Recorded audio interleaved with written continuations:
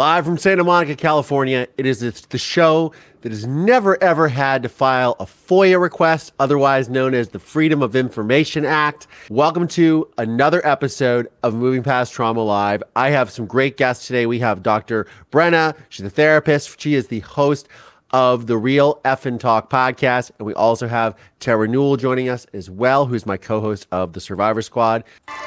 Testimony continued today in the most notorious criminal trial in. When I was 12 years old, my testimony sent my father to prison for murdering my mother. This podcast serves as a type of therapy and reconciliation for myself, and it is my hope that it helps anyone who has experienced deception, betrayal, and dark trauma. I'm Collier Landry, and this is Moving Past Trauma. Mover Nation! Welcome to yet another live episode of Moving Past Trauma Live. I am your host, Collier Landry, and what's going on? Happy Wednesday. This is the Wednesday wrap, as we are all becoming accustomed to. I want to say thank you to so much to my channel members and subscribers for joining us today.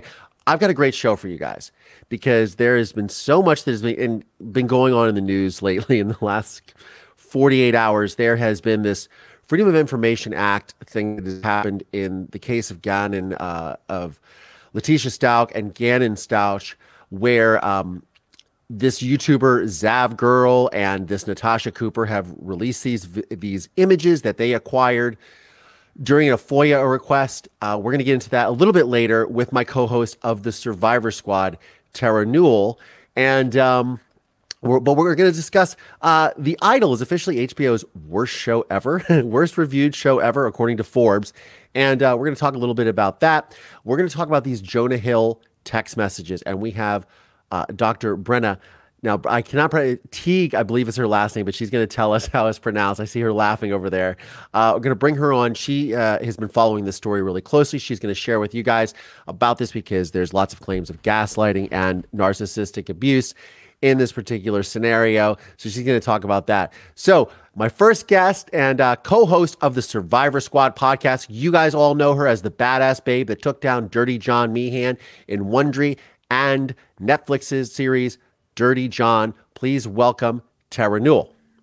Hi, everyone. Hi, Tara. How's it going? Good, good, good. And my second guest, of course, to join the conversation, this is Dr. Brenna. She is the host of the Real Effin podcast. You can check her out. She's joining the program as well. Please welcome Brenna. Hello, guys. It's so nice to meet you. And Tara, I'm so happy to see you. Yes, I'm so happy to see you too. We've done workshops, lives, podcasts, everything. I know. It's great. I'm so, when we were talking today, I was like, this is phenomenal. So I had to jump in. Yes, I love it. Well, thank you so much for being here. So, Brenna, how do I pronounce your last name? Ty. Ty. Ty. Okay. I was like, it's Teague, Teague, Ty. Ty.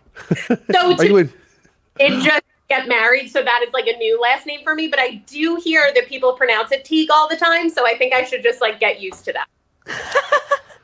Hi, got it. I wouldn't. Have, I would not have guessed that. Well, thank you so much for joining the program. And your podcast is. It's called the Real Fucking Talk. I don't know if I can curse on here. Um, not really, but it's okay. Perfect. Um. So yeah, Real Effin Talk. Um, yeah, I have not released an episode in about a year just because I had a busy year, but it is mm-hmm. all about just mental health and people sharing their stories, yeah. um, vulnerability. So I had Tara on it was a great episode. So, yeah. Well, I love this. This is great. This is great. So now you guys were going through uh, a series of text messages today uh, that have you sort of quite a bit of controversy. And I think very apropos would be last year's word of the year, which was gaslighting. Mm. Um, what? Uh, why don't you tell us what's going on with Jonah Hill? Yes. So, and it, Tara, if you know more about this than me, I would love for you to jump in. But from my knowledge, I know that Jonah Hill had, or his ex girlfriend, Sarah, had released like a slew of text messages between them that I believe was from when they were together.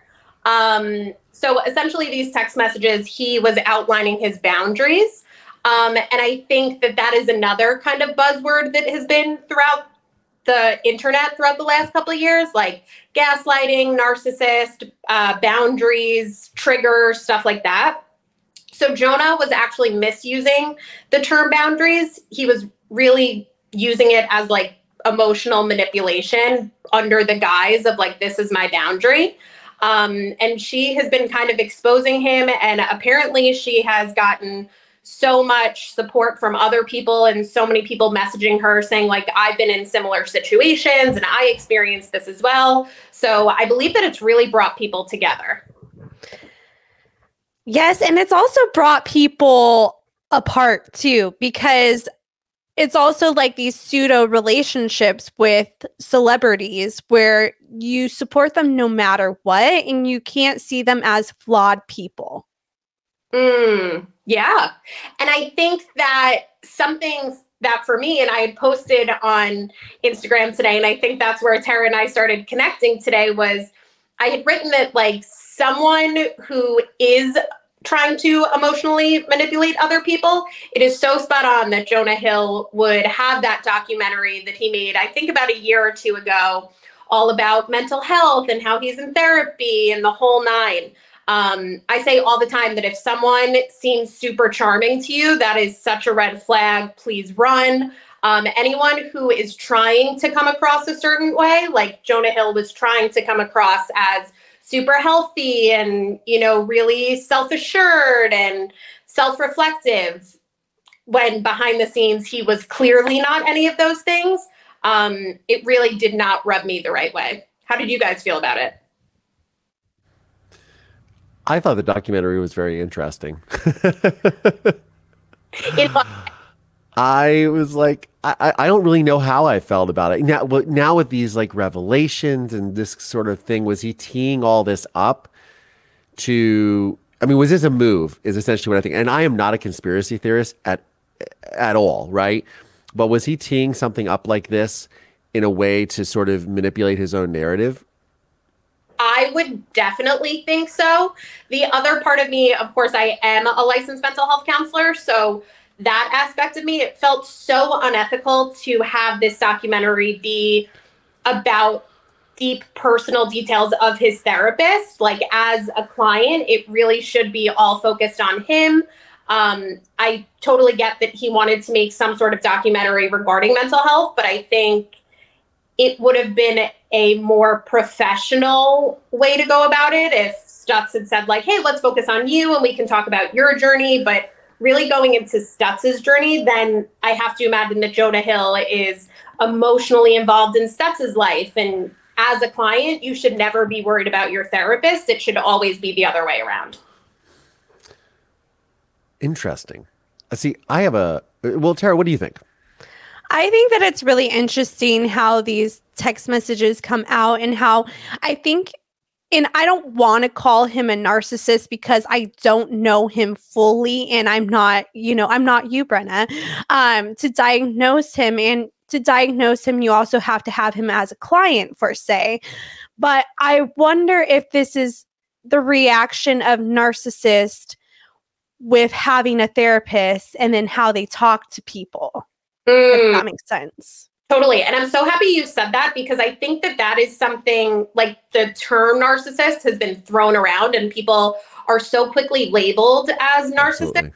When in reality, like, yes, I'm a professional and I do diagnose, but like, I cannot diagnose someone who is not my client. I cannot diagnose family members and friends because I do not work with them in that sense. So I think that that's something that really should be talked about more. Like, even professionals, if I am not your professional, I really cannot say for certain if you do or do not have a certain personality disorder. It's interesting you said that. We we last week on Survivor Squad had uh, a two part episode with Dr. Ramani, who obviously talks a lot about narcissism. Well, all she talks about is narcissistic personality disorder. And I asked her if the if the term narcissist was overused, and she said again it gets kind of conflated between NPD and then or saying someone's narcissistic like and it can be very overused even I think about myself as a, as a creator and, and even the ethics of this when I talk about this type of stuff a lot with my my own father who's a psychopath and obviously that's a psychopathy as part of NPD. Mm-hmm. Um, and I wonder, and he's not diagnosed. I mean, I just he just has all the characteristics, right? I I often wonder, am I speaking out of turn by talking about these things? Am I am I saying things that maybe I shouldn't say? Uh, too much. Like I, I don't know. I, I think there might be a, a, a boundary with that because there are many people on YouTube that talk about this and and, and do not have you know three letters after their name. You know, you know what I mean? So or or a, a formal education. And I think when Tara and I talk about this, we're just basing this off our own experience in dealing with these people. But what do you think that line, that barrier is? So I say all the time, like, and I do this myself, where like I will always say, oh, yeah, it seems like that person would meet the criteria for narcissistic personality disorder, but I'm not their therapist, so I can't say that for certain. Or, you know, something that I teach a lot in psychoeducation in the therapy office and even with friends and family is like someone can have tendencies of narcissistic personality disorder or OCD, but not have those things fully. Like there's a certain criteria that needs to be met to be defined or labeled as having a personality disorder, having OCD, whatever it is. And the only people that can really diagnose that are that individual's treatment team. So I just think it's really important to say, like, you know, for you, Collier, like, yeah, my dad seems to meet the criteria for like psychopathy, but like, I'm not his doctor. So, you know, just kind of covering your bases. I don't know. Tara, do you think this is maybe a way that uh, that people people are using this as a coping mes- mechanism by putting people into these boxes and kind of compartmentalizing them based upon their own perceptions? Well, I think it's has to do with like the ego too. Like a lot of people have ego problems, but a lot of people are not narcissists. So it's having to identify that. But if a person is able to detach to from their ego or say you know, take time and space and like, okay, they could see that problem later was a problem for themselves, then that's super important. Where, you know, it's this engaging with empathy. And I think that our receptors are kind of turned off to empathy because true crime can be so desensitized at times. Yeah. I think, uh, desensitization is sort of at the core. And I almost wonder, you know, you and I, Tara, have discussed, and I'd love to get your opinion on this, Brenna, um, about uh, talking so much about things in the true crime community and people, um, people obviously weighing in with unprofessional opinions or overstepping boundaries. And we've just seen this recently where the entire true crime community has come out against these creators, uh, Natasha Cooper and Zav Girl, who are YouTubers apparently, and they have gone into exploiting uh, these photos of Gannon Stauch or Stouch uh, from the Letecia Stauch trial, the young child who lost his life so so brutally, and now the family is left to pick up. Uh, uh, now they're starting to pick up um, sorry, somebody just said, "Hey, I'm so excited about True Crime Obsessed." um, it's interesting. Um, but now they've they, they've put these photos out there and they've crossed these boundaries without thinking about the ramifications. Uh, Brenna, what do you think about situations like that when people are almost abusing power in those ways? Yeah, so I was so happy to connect with Tara today because I had actually not heard of this case and what was happening. So she sent me some links so I could just kind of read up on it. And I think that it is so appalling and so unfortunate that this is happening. And I think, you know, Tara, I think that's something you can relate to where people almost like, you know, enjoy other people's pain when I think a lot of the times we forget, like, this is actually a true story. And this person is also still alive today and still active on social media. And this person might see what I'm saying. And I think it's really, really important to back what you said, Tara, to like lead with empathy and remember like how would i feel if someone was tweeting this about something i went through I'm going to give our audience just a little bit of context. I'm going to pull up a uh, a News Nation uh, video that I just grabbed, uh, which, so you guys can kind of see. This is Brian Entin talking about this. They actually released the photos to her. She had to pay. They released the photos and she got them. Uh, and you can just imagine, based on the description of the way that little boy was killed, what those photos looked like. Zav Girl then proceeded to post them on her Patreon account, which is an account attached to her YouTube page, and she charged her followers money to see the autopsy photos. For $3, you could see little Gannon's body. Now, I mean, this is just, this is so many levels of wrong. mm-hmm. I think, but you know, this. I think this. Unfortunately, I think this speaks to a larger sort of culture of solipsism and the look at me culture. What do you think? I would definitely agree with that. Something that's coming up for me though, and I don't know if you guys even know, like, is that even legal? Does she have like the right to these photos? So she acquired them via FOIA request, uh, right, Tara? Mm-hmm. Yeah. No, so she had to pay for them too. So she paid for them, and then she's making other people pay her for them. Mm-hmm. Interesting. Hmm. Yeah, I definitely would agree with what you said before, Collier, where it's almost like a pick me or like look at me, like I have all these things. Um, yeah, it definitely does not sit well with me. Um, Tara, what do you think? I don't think it sits well with me too. I think that, yeah. you know, people can do this by mistake and be like what what did I just do right now? Because everybody makes mistakes. I mean, this is a big mistake. Um however, yeah. I think that it's really just it makes me upset that she doesn't even see this as wrong. They both don't see this as wrong. Mm. So have they put out a statement? Oh yes. What did they say? Essentially, just like defending themselves. Let me see if I could pull up the statement. I also sent it to Collier. Well, I, Zav's girl said a statement. Yeah, and I think the the the thing that I find most disturbing is the fact that that um you know again this is a look they're acting without thinking because it's all about them. Like, not only are they trying to make money, right? And I think they, and I, a friend said, I believe, uh, no, correct me if I'm wrong, Tara, they made something like $19 or something.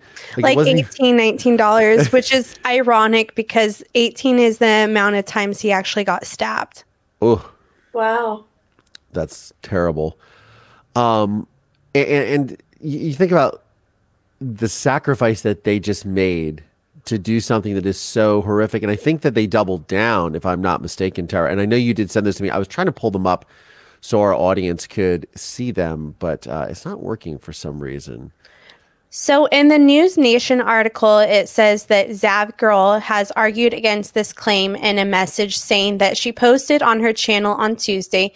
She said she was not selling the individual photos of Stauch um, Gannon, uh, but uploaded a full video only accessible by her Patreon followers. It was focused on the photos as well as the audio from the homicide trial.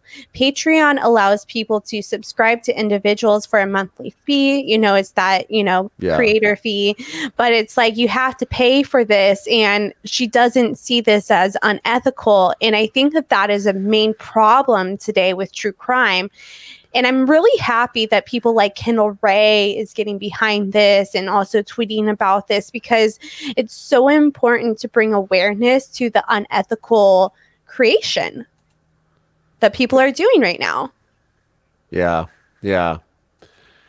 Um, I think that, uh, I, I again, in, in my my my mind went to you, uh, what you said, Brenna, which was how is this like how is this um even legal? because it's a child, right? And I would imagine that there's got to be some sort of laws against exploitation. So I would just, if I were them, I think I would maybe give pause to the fact that, like, am I going to be arrested for doing this? Like, is this going to be jail time for me if I do this? And I don't know where this stands on the legal spectrum. And uh, of course, I am not in law enforcement nor a lawyer or anything of that nature. But wondering if, in fact, they could get in massive criminal, have criminal char- char- charges filed against them. I think I- that thing that so many people, and I'm sorry to interrupt, I think that that's something that so many people, especially focusing on like the internet, have struggled with, where like they act and then think later, where so many people have gotten themselves in such deep water because they just tweet what's on their mind or they post what they want to post and then all of a sudden they get backlash and then they realize like oh that actually wasn't super smart Yeah, and I think that the thing is, is that this girl doubled down and defended herself. how old is Um, you know The the the girl, the creator, I I think twenties. No, she looks so older than that to me. Oh. But I may be. She's old. She's older than twelve. She's old enough to know. She's old enough to know better. That's all we know. Yeah, I was asking because like the frontal lobe, which is like our decision making, like doesn't fully Uh-huh. form until we're 25. So I was like, all right, like maybe if she's like 20, 21, 22, like there could be like some sort of like reason, but also even people without fully frontal, fully formed frontal lobes can not do this. Yeah. Well, it's also interesting that you mentioned like the prefrontal cortex, like the prefrontal lobe. Um, it's also interesting that narcissists like have that area dimmed in their brain. Hmm, do they? I didn't know that. Mm-hmm. Interesting. Bubsy to you says allegedly Zav girl's stream went completely wrong and she wasn't watching chat. And then she says that Zav girl is young and Natasha is in her late forties. Okay. Um so old enough to know better, for sure. I'm hoping that at least for Zav Girl, this is something that she can look back on in 10 plus years and be like, damn, I was just like a stupid 20 year old and I really was not making good decisions. But it sounds like if the other person, Natasha, is in her 40s, that I don't know. Yeah, it, obviously, obviously they can't create content anymore. I mean, I'm sure they're going to have their, um, I'm sure they're going to have a, um, you know, a lot of issues. Uh, Bubsy to you also says Natasha is a personal friend. Oh wow.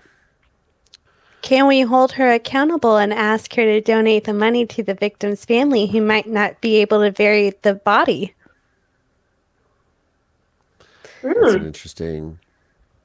That's an interesting um, thing.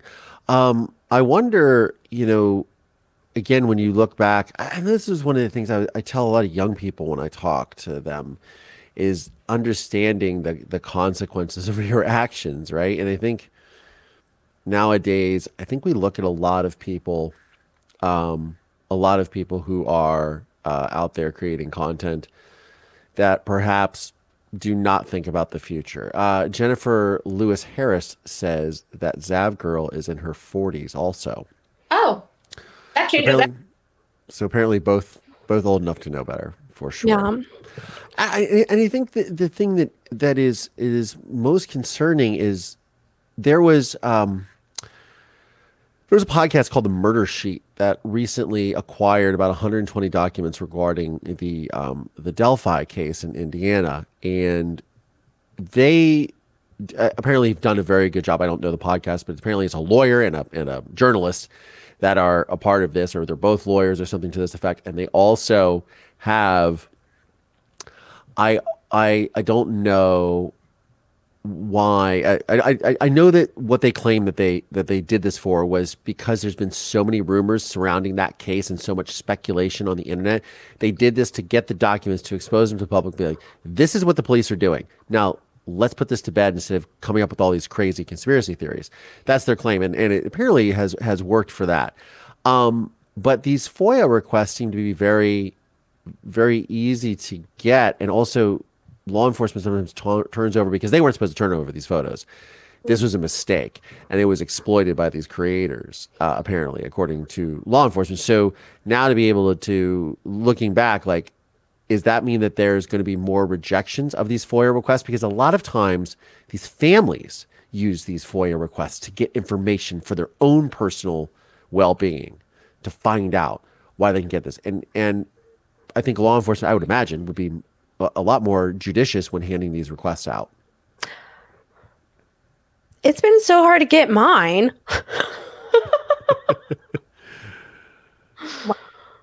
Wow.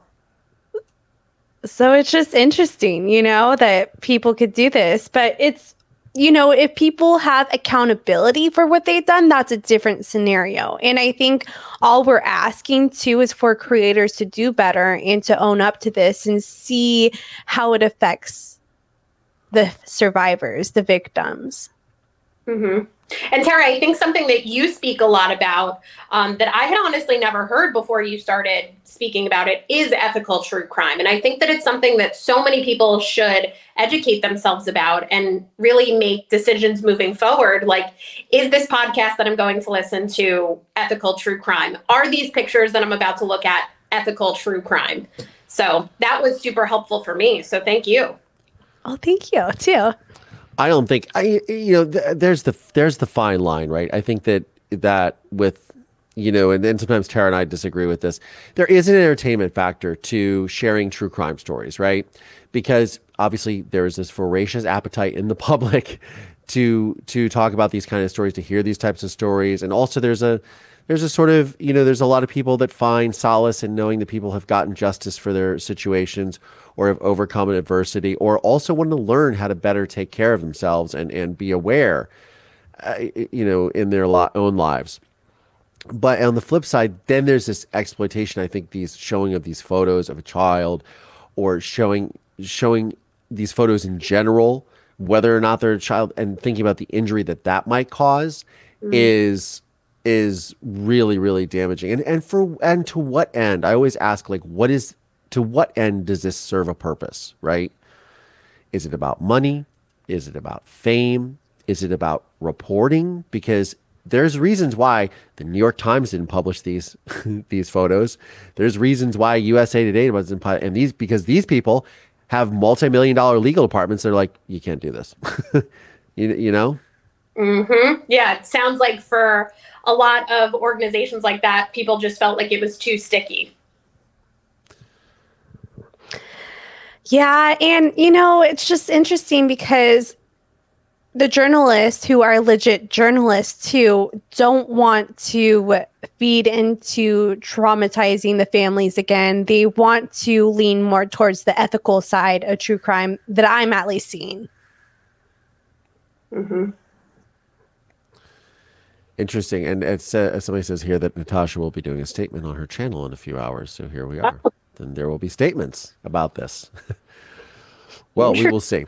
We shall see what's going on with all of this. Um, but uh, but yeah. So uh, moving on to uh, some sort of entertainment and gossipy fun news. Uh, now, um, Brenda, did you watch The Idol on HBO? I did not, but Tara again shared with me so many different articles about it today. I had texted her back, I think verbatim. I said, My jaw is on the floor. like, I don't even know where to start with that. Yeah, it is. It is interesting for sure. You know, um, there was, uh, you know, obviously Selena Gomez, who is the ex of, um, the ex of The Weeknd, who, who plays what? What is this character's name? Tara Tedros. Tedros. That's it. Uh, she saw some very eerie similarities as well in in this, and um, it's a it's it's caused a massive uproar. I mean, I have so many friends that were like, "This is the worst show I've ever seen." I I enjoyed it because I I'm a cinematographer, so I enjoyed the cinematography and the lighting. I was that's why I was enjoying it. The content was very hard to swallow. So again, I have not seen it, but just from the snippets that I read about it, it seems like the Weeknd created a show that was almost like exploitive by nature of Selena Gomez's life. And I think I have so many friends who are creatives who work in film, who work in the arts and stuff. And I think that it is so awesome to use experiences that you have had and put that into art and make a film and stuff. But I don't think that's what he did. I think he used Selena's experiences and put that into a show without her consent. Yeah, I think that. I think that's the gist of it. That's I think what we're sort of getting in this sort of trickle down. What do you think, Tara? I think it's also interesting because I heard rumors, we'll say rumors about the Weeknd and saying that he is in this cultish lifestyle in real life. I don't know if that's true or not, but it seems that there's eerie similarities to real life and the show. And it's at his house it's just, you know, is it is it real life? Hmm. Is art imitating life? Is the question. And again, I don't think there would be an issue if his art was imitating his life, but it seems like his art was really imitating Selena's life. Yes. And he was the total con artist. Like he planned for her to come to the club, so and to bring her to the club where he met her. He called her out on the dance floor, creating her to like, okay, I have to fawn and go be with this guy because he's calling out my name on the dance floor. And if I say no, I'm going to look bad to everyone. So that's already like a ploy in the like the trauma bonding of it. Mm-hmm. I agree. Yeah. Yeah. What do you? So, what do you know about trauma bonds, Brenna? Trauma bonds. Oh my goodness. I actually had one of Tara's good friends, Lacey, on to talk about trauma bonds. And I think, Tara, we, the three of us, had done um, an Instagram live like a year or two ago about trauma bonds. So essentially, trauma bonds are just that people that experience trauma together and then they are bonded. Um, it's it almost reminds me, and Tara, I'd love to hear what you think about this, but it reminds me of almost like an anxious attachment of like, I need to be with this person, almost like an obsessive nature. Do you agree with that? I do too, but we also discussed that there's two types of trauma bonds. You know, there's the one like the seven stages where you talked about, and that's like the trauma bond with like the narcissist or the toxic abusive relationship in a sense. And then there's like the trauma bond like Collier and I have with our trauma. Mm. That, but it's healthy, you know, it's not like that codependency. But, you know, at first we related to each other because we're like, oh, we've both been into this trauma and let's be friends. mm-hmm. And one is definitely more healthy than the other. Yes, but there is that codependency that it can lead to if you are trauma bonded to this person. And I love to hear about, you know, the seven stages too for the narcissistic trauma bond. Mm, yes, I would have to go back in my notes to get those like spot on. Do you know them off the top of your head, like in order? I'm uh the first one's love bombing. Uh yes. I could talk about love bombing all day. Do you have any experience with that? So much. ah, do well, it's also because people tr- uh, love bomb in different ways too. Like a boss can love bomb you, and I know. Collier's had experience with this as well, especially with. Collier's a good looking man. Um, you know, it's just a fact. And so women will love bomb him, say, with business and be like, oh, I have this project, you know, let's do work with this. And you know, tr- you've been love bomb in other ways too. Yeah, I think it's been uh, there's been a few times with that. Um, but uh, uh, give us some good examples, um, Brenna, of, of love bombing.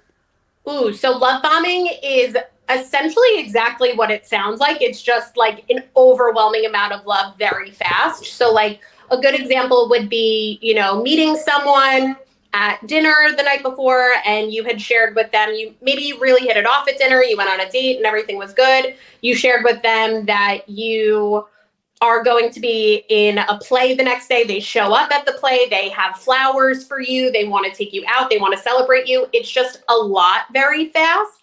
Um, and almost like invasive to a sense. Like they really want to enmesh themselves like in that person's life. They want to be in every aspect of their life.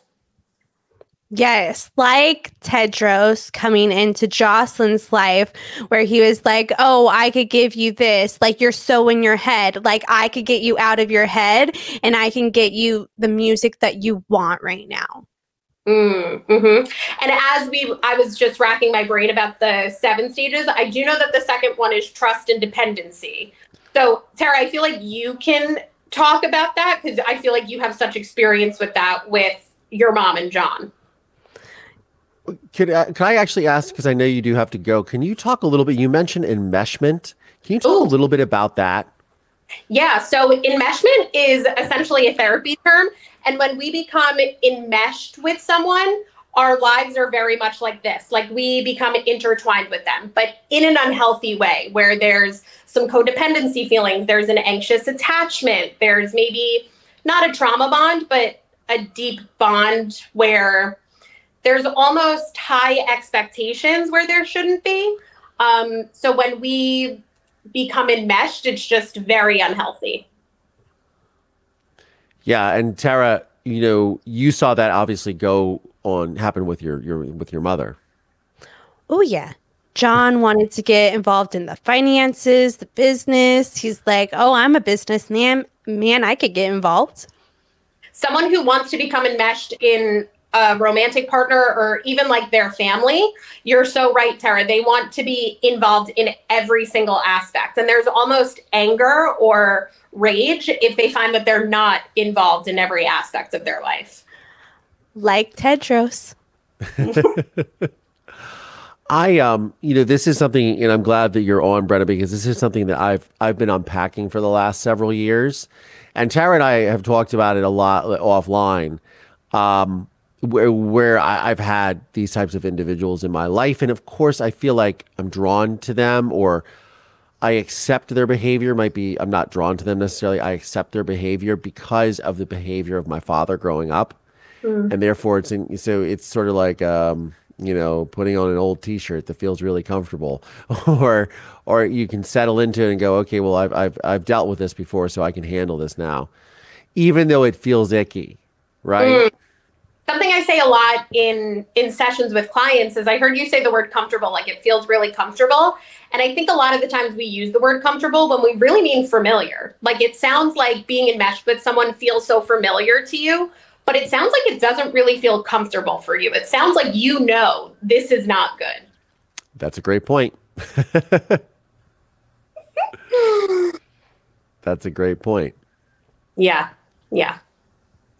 Terry, you witnessed this happen. What was uh, what was what was sort of the, how how quickly did John get involved?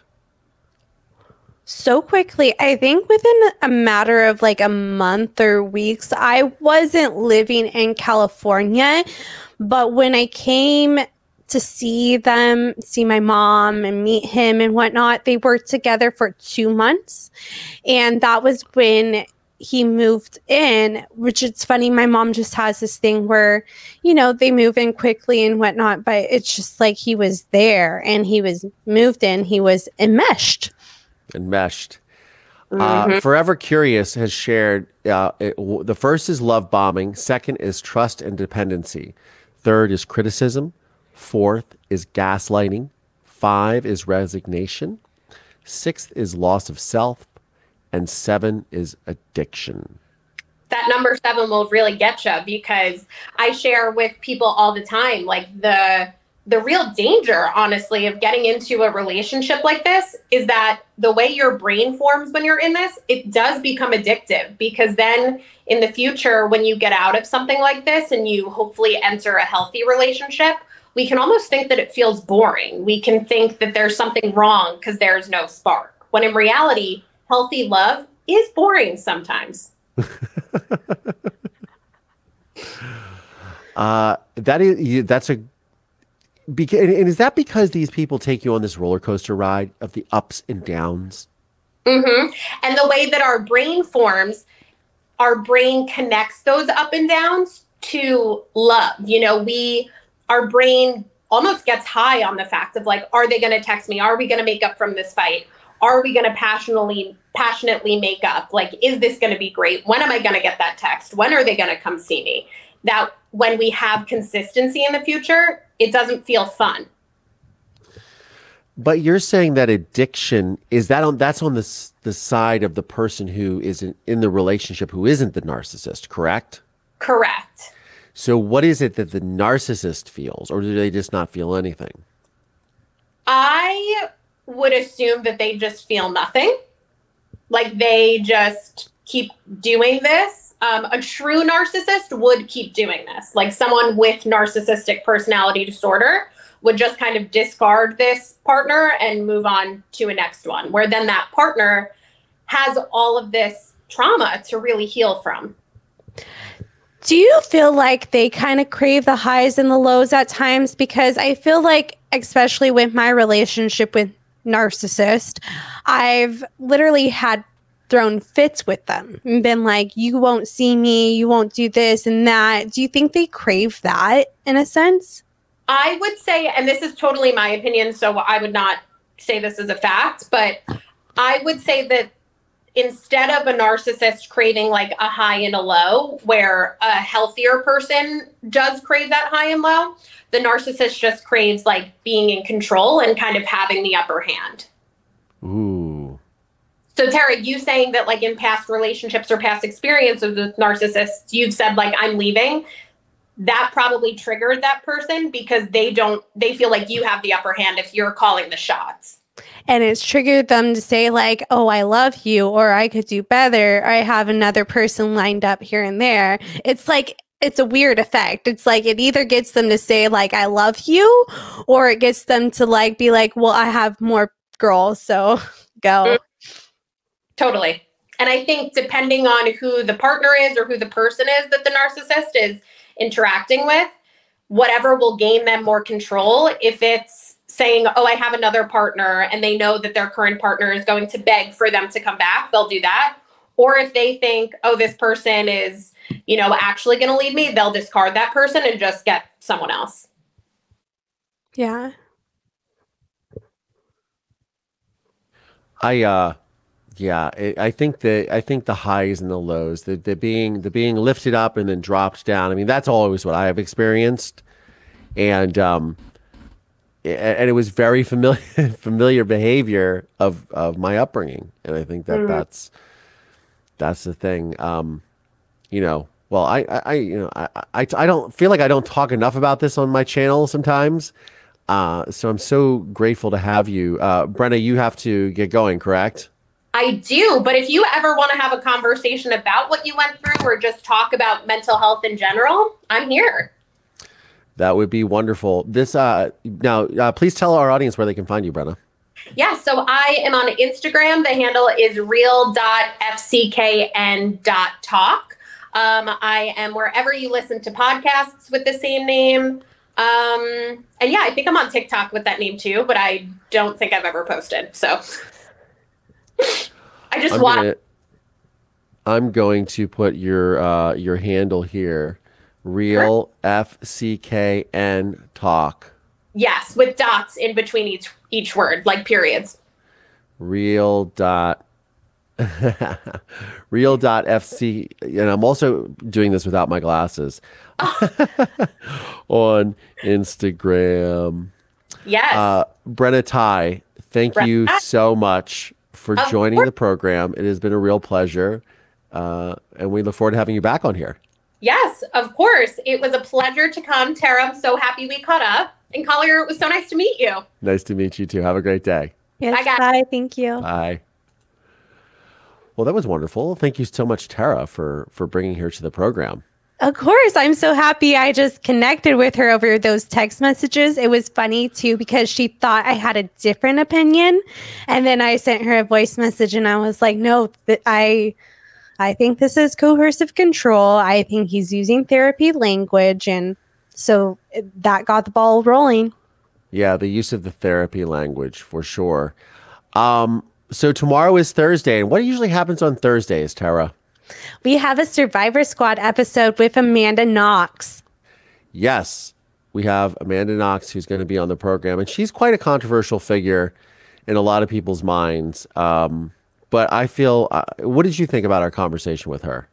I thought it was really interesting because you don't know how much a trauma affects someone. And yeah. then if you get convicted and you're living in a different country, there's a language barrier, there's all of that. It's it's crazy to me. And she's a sweet little girl in a sense. And she's just like, okay, yeah, like what do I do to get out of this? And then she signs something and her life is over in a sense. Yeah, she um it was really it was really difficult to hear her, hear her parts of her story, and I, I, you know, I had watched the documentary beforehand, um, which I believe was called "This Is Amanda Knox" or "I Am Amanda Knox," maybe.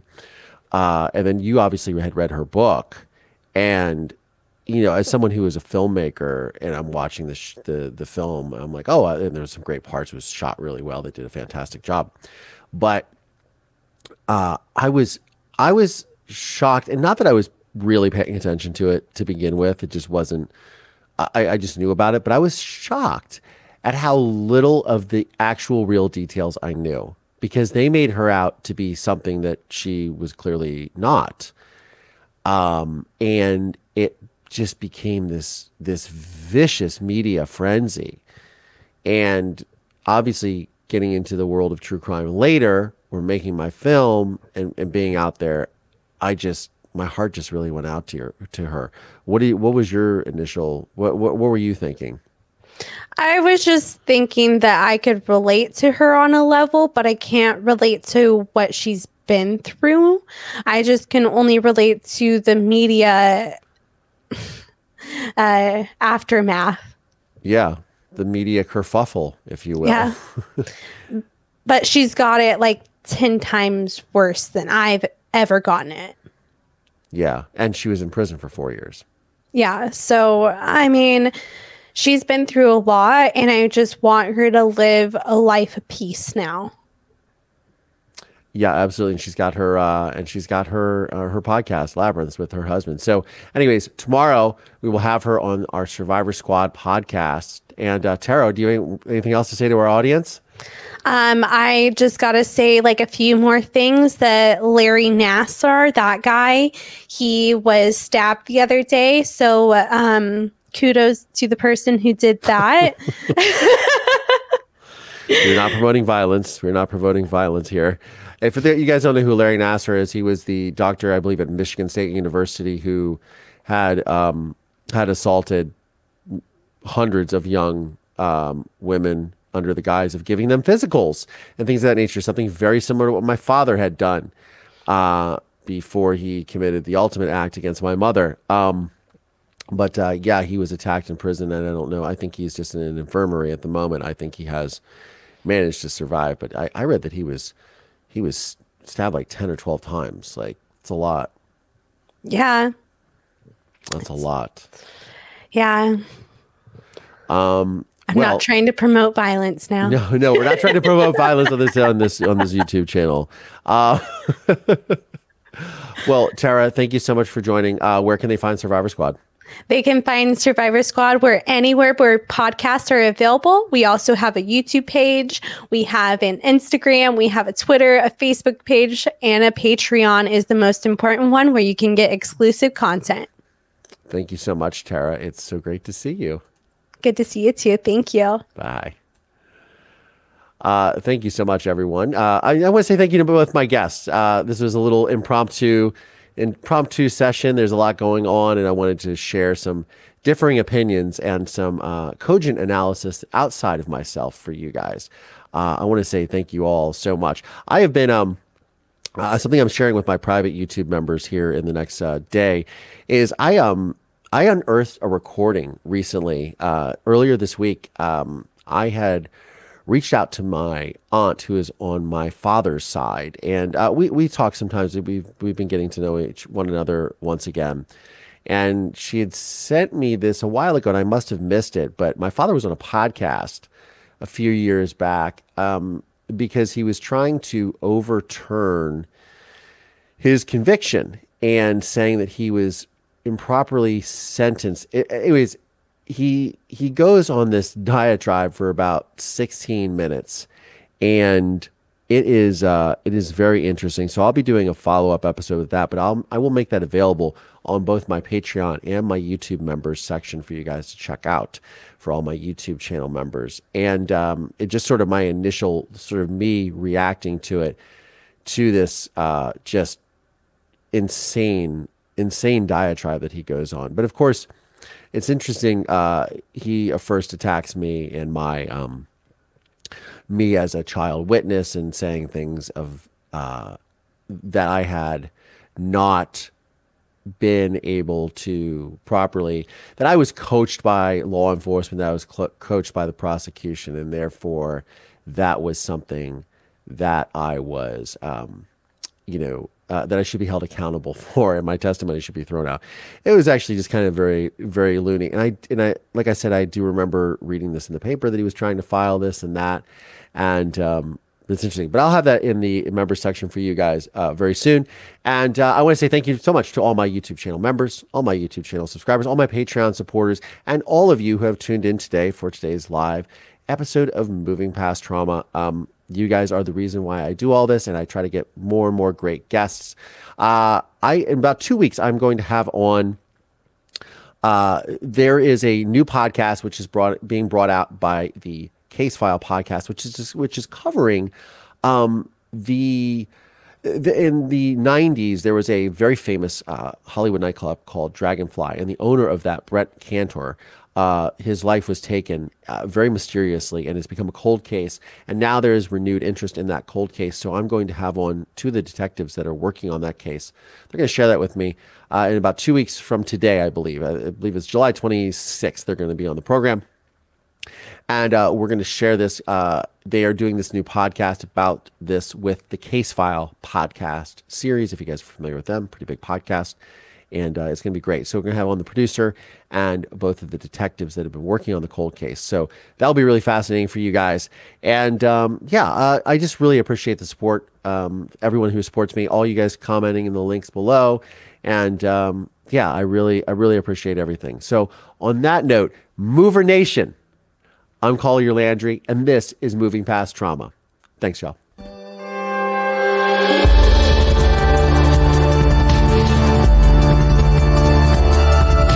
Podcast is made possible by support from listeners just like you.